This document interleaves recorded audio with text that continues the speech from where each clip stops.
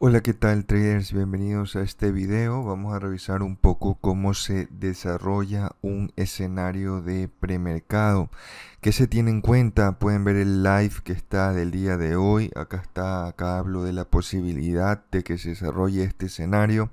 Se ha cumplido la zona de venta en un 100%. Vamos a a explicar un poco el por qué, cómo lo ejecuté, si lo hice bien, si lo hice mal y pues para que ustedes puedan entender cuál es la finalidad de los streams, cuál es la finalidad de las zonas de venta, de las zonas de compra, etcétera, etcétera. Entonces, los invito a que se queden en este video hasta el final. Los invito a que se suscriban, le den a la campana para que cuando haga estos en vivo, estos streams, puedan ustedes ver el pre-market, ver las zonas y pues puedan anticipar movimientos como el de hoy.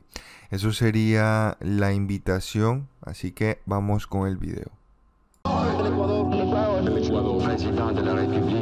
Ecuador, el Ecuador, el Ecuador, el Ecuador,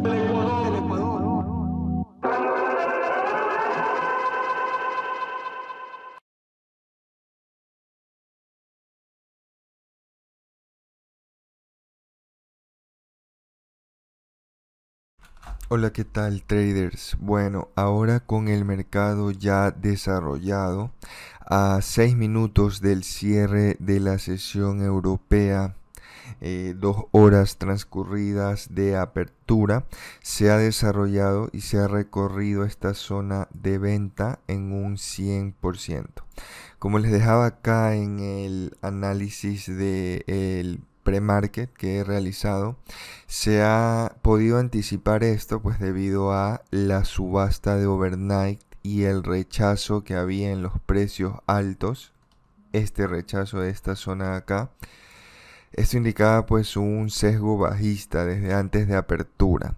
Se rechaza trabajar la zona de aceptación del el viernes de la sesión americana, se rechaza mantenerse por encima del máximo de esa sesión y tenemos pues una sesión overnight bajista con una especie de sesgo, un pequeño imbalance hacia abajo. Así que estas pautas de acá, junto con el conocimiento de las probabilidades de testeo de niveles, niveles como mid con 71%, overnight low value area low y low of day. Esto acá pues nos deja esta zona de venta de aquí. Eh, se da una transición de valor exitosa esta sesión americana, realmente con muy buenas oportunidades, a pesar de que yo no las he sabido gestionar bien el día de hoy. Se ha podido anticipar esto se lo ha podido anticipar desde antes de apertura, debido a una lectura de la subasta y a un conocimiento de las probabilidades, pues eh, profundo, ¿verdad? Entendemos cuál es la probabilidad de que se teste solo un, extremo de la sesión americana, cuál es la probabilidad de que mm, se teste un extremo de la sesión overnight y eso allá pues nos ayuda a poder establecer zonas de compra y zonas de venta que tienen altas probabilidades de ser testeados. Ahí yo estuve tratando, bueno, compartiendo en el grupo privado que tengo pues, junto con las personas que tengan la herramienta, anticipando como pueden ver, anticipando el testeo de Overnight Low. Estaba en ventas desde la etapa temprana en breakouts desde la etapa temprana de la sesión americana, tratando de sostener, tratando de defender esta posición. Al final, a ver, esta era la zona de venta dada desde el pre-market, tratando de anticipar overnight low, tratando de anticipar mid. Buena entrada.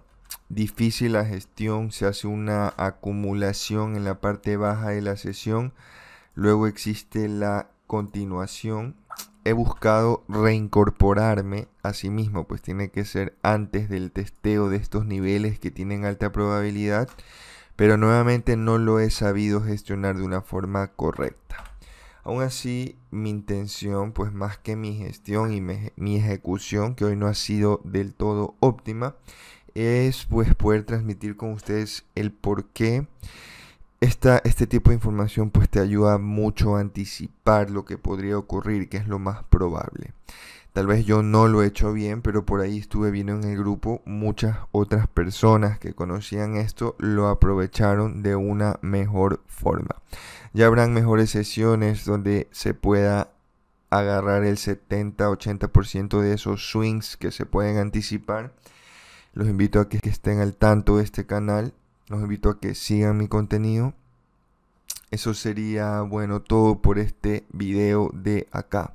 Nos vemos en, una, en un próximo video. Ya saben, denle un like a esto acá. Suscríbanse y síganme en mis redes sociales que las dejo a continuación.